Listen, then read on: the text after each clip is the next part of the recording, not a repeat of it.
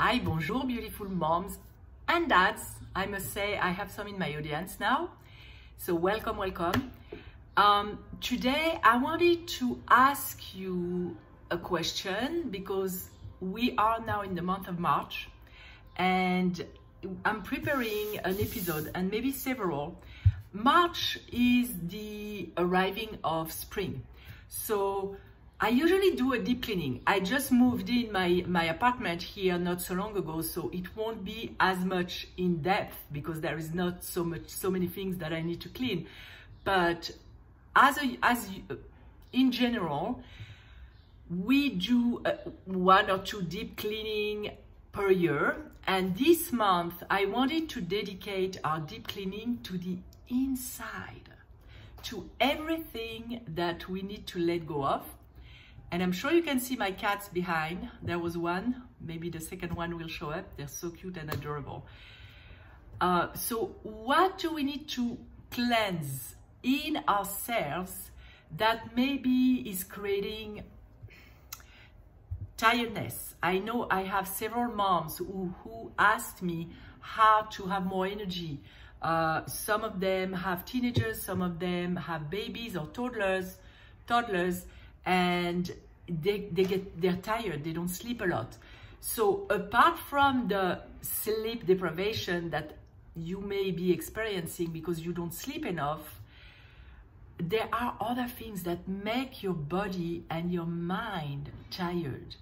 Um, another thing I want to address is the lower vibration. What in your life do you need to let go of uh, that creates a lower vibration and makes your energy vibrating lower and making you feel like yucky on an energy level. As you know, um, that's my cat's tail, just in case you're wondering.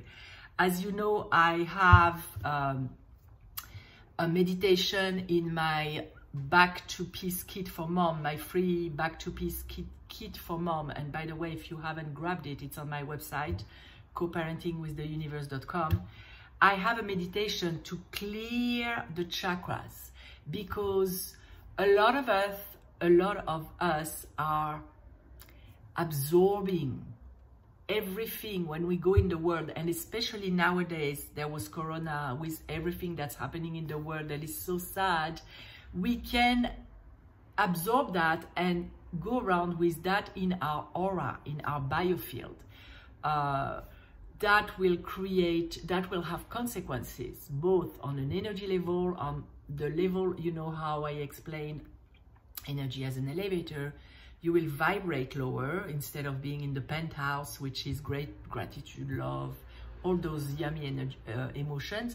You will vibrate like, you know, in a swamp when there, there is stuff in the bottom that makes it dirty and on a body level, um, there is maybe a low grade level of stress that you are living with day to day.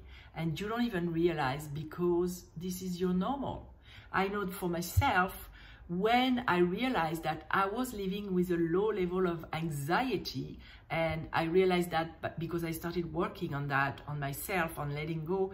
And one day I was like, oh my God, I feel so great. I felt like when I was in college, I had no responsibilities. I mean, I had some, but not big, not like paying a mortgage or raising kids. And I was free and everything was open.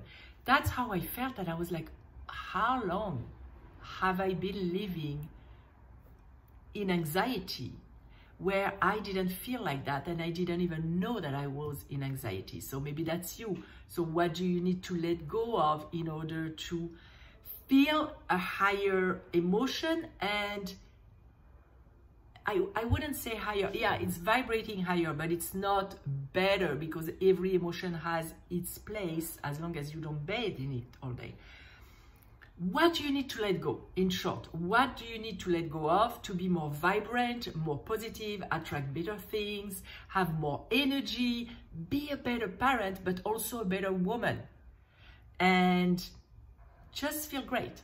So that's going to be the theme of this month.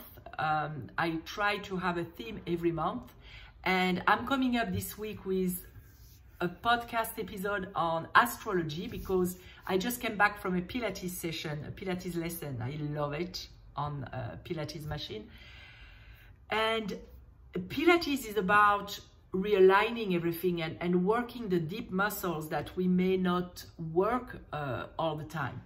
So I want to do this same kind of thing with that episode with astrology about realigning to know where you are. You will understand in that episode how knowing the chart of your kid and yourself can help you be a better parent because you will understand better where they are and instead of uh, practicing a cookie cutter parenting you will practice a customized parenting because you will have more idea about their life lessons in this life about who they are what they struggle with what their strengths are so you can push them and encourage them that way. So that's why i wanted to to uh, have neta. I had her in my old podcast. I wanted her back because I use her, I used her to do the reading for myself and my kids. Um, and it was immensely helpful for me to know and understand who they are. Especially, I had a reading for my son and it matched who he is. For me, too, it matched, it, so many things matched. So I encourage you to listen to that episode and maybe to get a session or understand your chart in a way or another so that you can leverage your strength and work with your lessons and challenges in this life. That's going to be the beginning of spring cleaning, knowing where you are, what you need to let go of. We're to work on it this month and we'll, we'll bring probably uh, so if you remember, you, you'll we'll work on that in this month live gathering, that group coaching, and we'll work on both letting go and start to install a positive seed to for you to work on once you weed the garden, once you remove and let go of what is not serving you. And if you're not a member, I'm sure that I will come up with some kind of video to help you start, initiate the process that you can continue on your own. So that's all I wanted to say today. I just wanted to let you know what we're going to do this month.